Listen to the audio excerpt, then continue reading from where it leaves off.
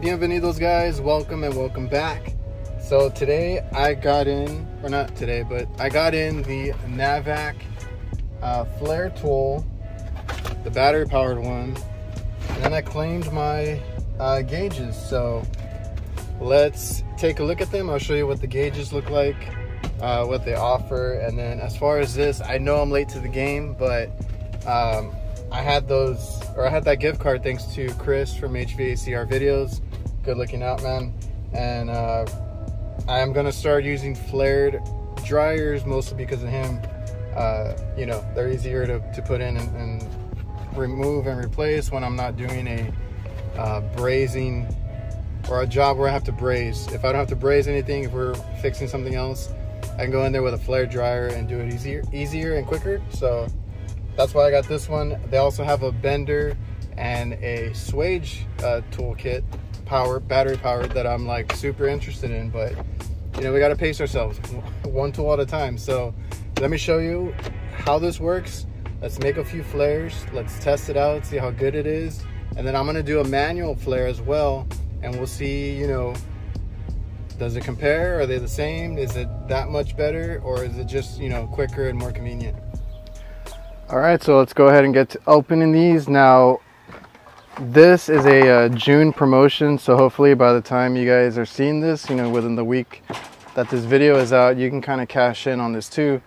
You can buy any of their battery powered uh, tools, which is going to be the flare, the swaging uh, tool, and the uh, the bender. So they have a, a, battery powered version of each one, the flare, the bender, and the swaging tool. And uh, the cool thing is the batteries are interchangeable.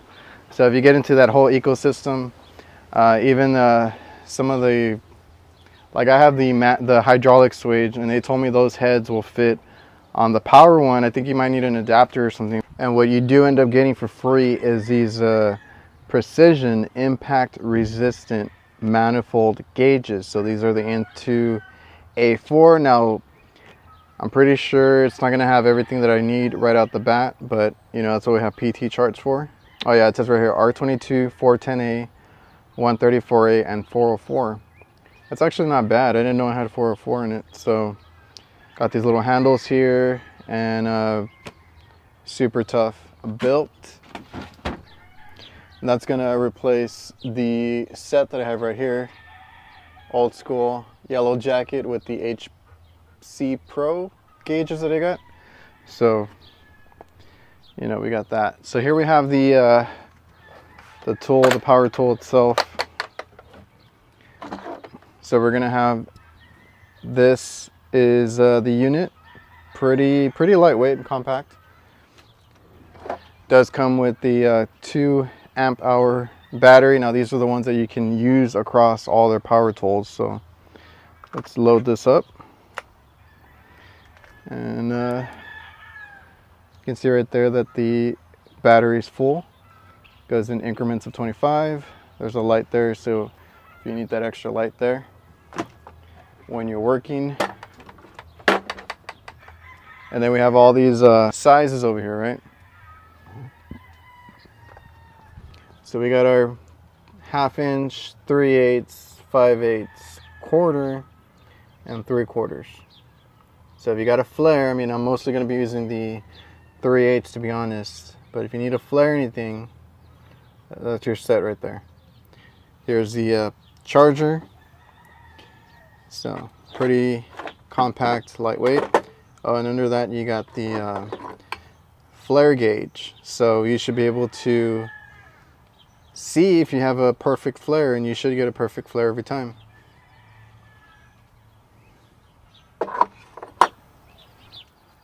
All right, and if you're curious about the gauges, let me just open that up so I can set these up for myself already. So nice case too. Bam. So there we have the uh, Navac impact resistant uh, gauges. So yeah, they, they cram all that in there. Now they're not color coded, but it gives it a nice uh, aesthetic if it's not color coded. All right, so I put my hoses on there. That, layout's gonna get some getting used to because they put it on the sides there, but yeah, you got the uh, 410, then R22, 134, and then 404 at the very middle.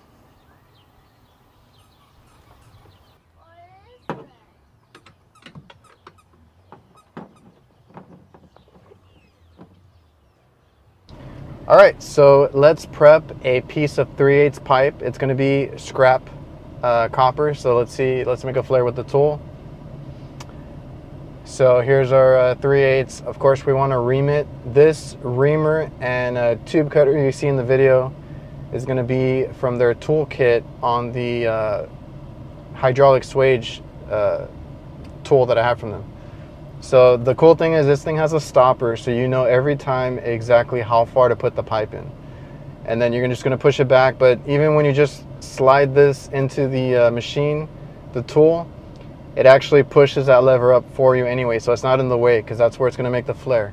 All right, and just a little uh, heads up, uh, if Navac, you know, was sponsoring or, or had sent this out to me, they would have been upset with me because I managed to screw up the flare. Um, this is a sizing gauge, you know, that, that when you pass, it's not supposed to pass through, there's a lip there.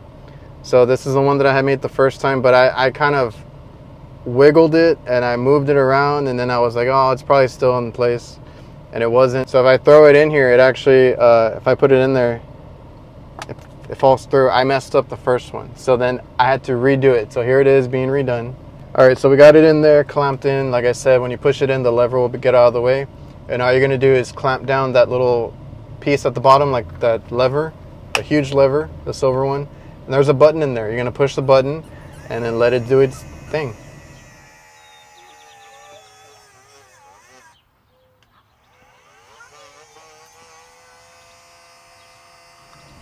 So once that once it cycles, it's gonna go all the way in and all the way out. You're gonna pull that lever out and it's gonna unlock it. You're gonna take it out and then you're just gonna remove the clamp.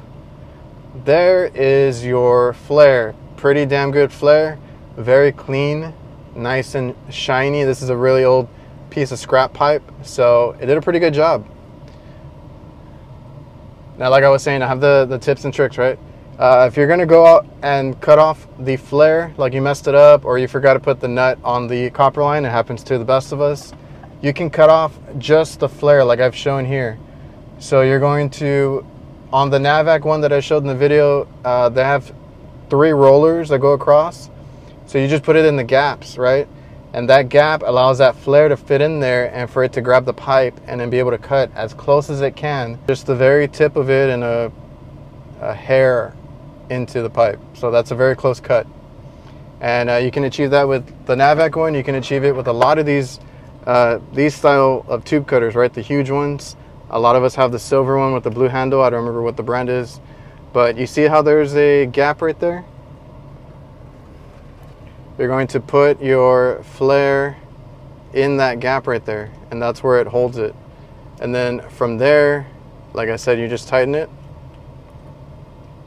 and it fits in there perfectly. So this one is spring loaded, so let's get it on there.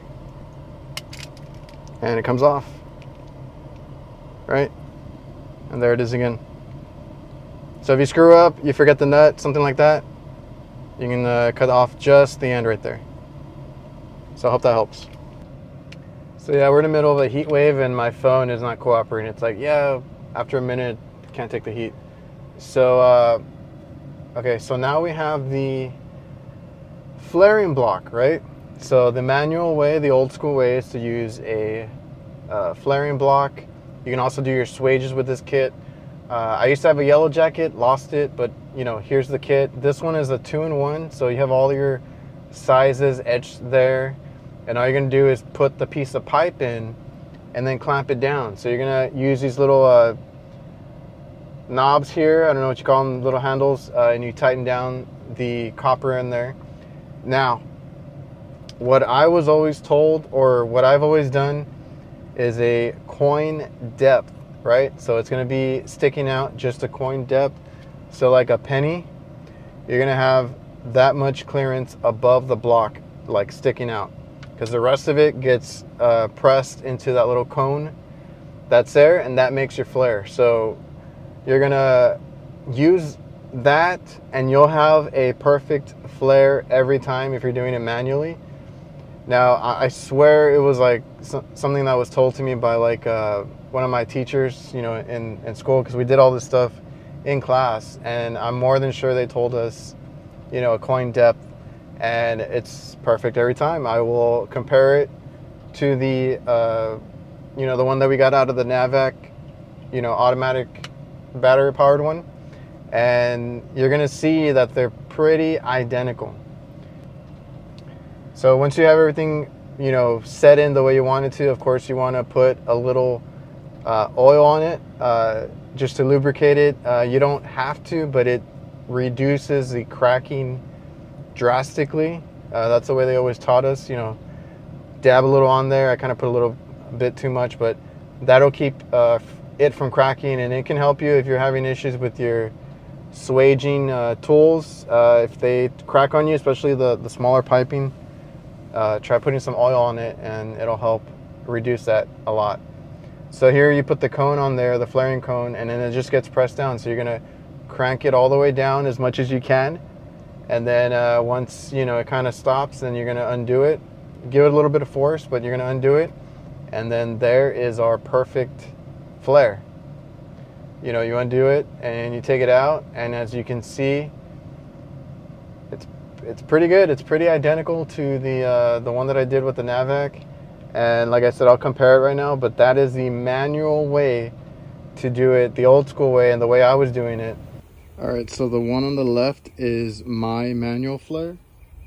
And the one on the uh, right is the Navac one from the uh, battery powered flaring tool. To me, they are pretty identical. You can kind of see that this one's a little cleaner because it has uh, you know, more of it makes contact and it's continuously spinning, but they are pretty identical. And then if we put them side by side for you guys,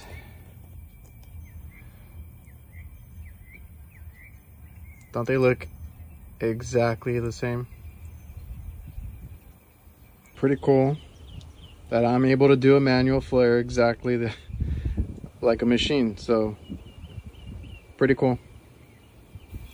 And of course the flaring gauge, if we put mine, it sits in the lip and it will not come through. Perfect flare according to Navac. And then the Navac one here, same, right? Perfect flare made by their machine to, to you know, pass their test. It goes in the flaring gauge perfectly. But so does mine.